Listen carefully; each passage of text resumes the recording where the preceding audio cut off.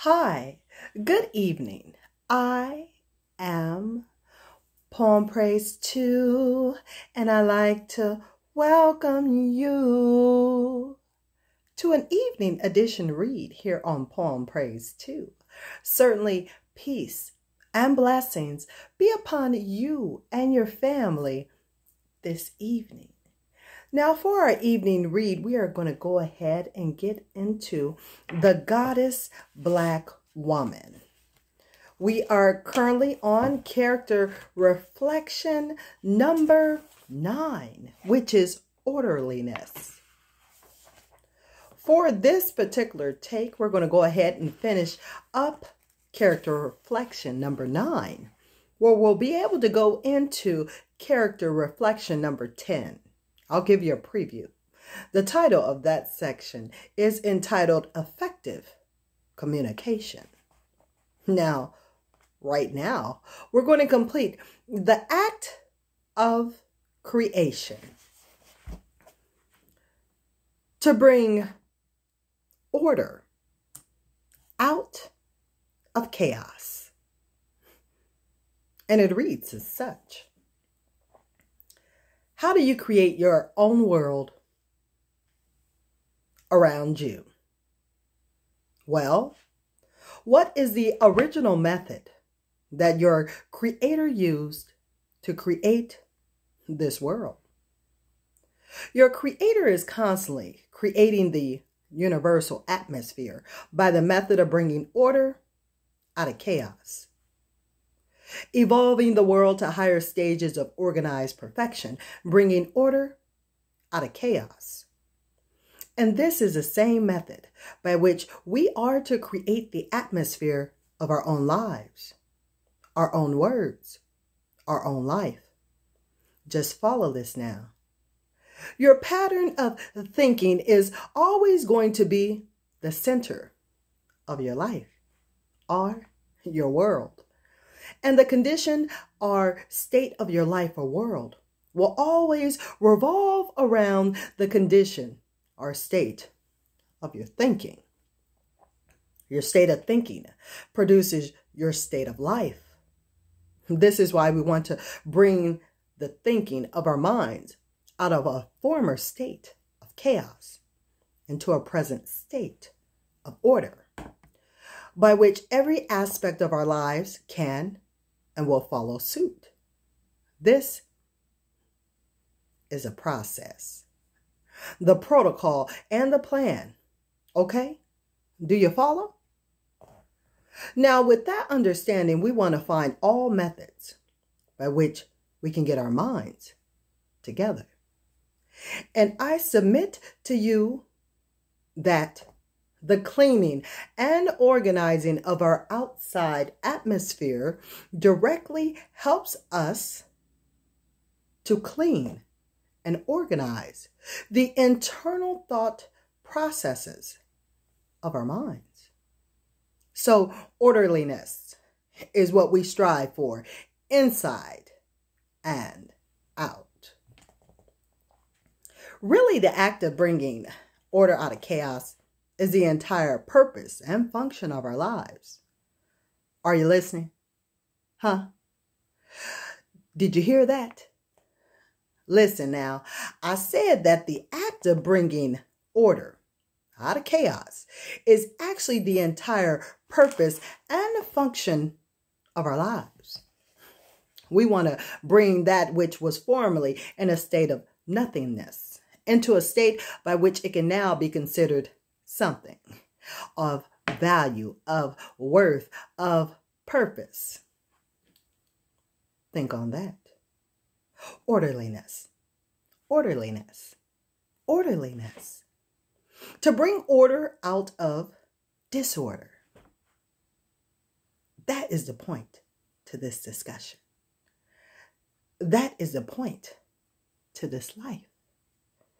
Even our ancient symbol of the pyramid represents this point of bringing order out of chaos, or the process of creation itself actualizing that which was once only in a state of potential. Look at the Great Pyramids. Have you had an arrangement of many individual stones that have now been scientifically and meticulously organized into a mathematically aligned structure of order? It is now put into creation that has been structurally engineered by precision of perfectly exacted measurements. When at one time the same pyramid was once nothing but a chaotically scattered pile of various piles of jagged rock and stone. In its former state of chaos, excuse me, it was considered nothing.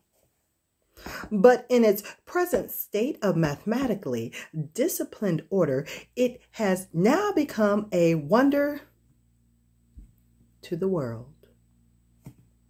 Okay, well, listen. We are not talking about pyramids just to be talking. The symbol of the pyramid is giving you and I the instructions of life itself. We are to bring ourselves and our lives out from a chaotically scattered pile of insignificance into an organized state of divine wonder. This is our daily instruction, our daily prayer. Let us make Black woman. You are already something. Mm-hmm. That was once a pile of nothing. You, you're anatomical. I don't know if I said that correctly, y'all. A N A T O M I C A L creation is already just a pile of dust that has been magnetized, organized, and gathered around a supreme field of electrical intelligence that called you into existence and keeps you in existence as we speak. You are mud gathered around a spark of sunlight. That's what you are a walking planet. Just stop and think about that. Hmm. Now that you know who you are and what you are, go and create your world in your image and likeness. You go out and stand up directly in the center of your life and you be the supreme field of electrical intelligence that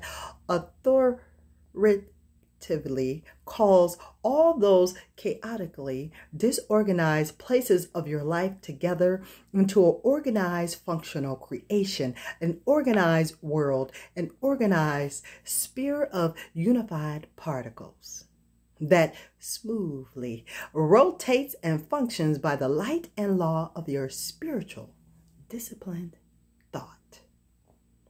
You be that spark in the center that holds it all together. Holding together the order of your atmosphere or your sphere of atoms, your world, your heavens, your earth, your life. Listen now. In conclusion of this discussion, understand that even though the state of your atmosphere should always reflect the state of your mind, the truth is that the state of your atmosphere already reflects the state of your mind. All that we have to do is to take a good look around. us to see, us to get a good look at what is going on inside of us. It is merely a cycle of reflections and impressions. Yet, if you want to change your mind, change your atmosphere. If you want to change your atmosphere, change your mind. One will make an impression on the other. Put it all in order. Put it all in your self control. You and I, okay? This is the final affirmation for this section. God's mission is to resurrect the life out of death and to spark the light out of darkness, which is to bring the order out of chaos. The peace is where you bring it, and the heaven is where you make it. So be and it is. That completes our uh, character reflection number nine, which is entitled Orderliness. I do thank you for watching Poem Praise 2 to this point. Certainly at this time, hit the like button, subscribe, share, hit that notification bell. You'll know when I, Poem Praise 2, is coming with something new for you. I do want your family to be safe, to be well, be blessed, and it be at thy will. I, Poem Praise 2, will talk and I will see you later, later, later, y'all. Okay, till next time. Later, y'all.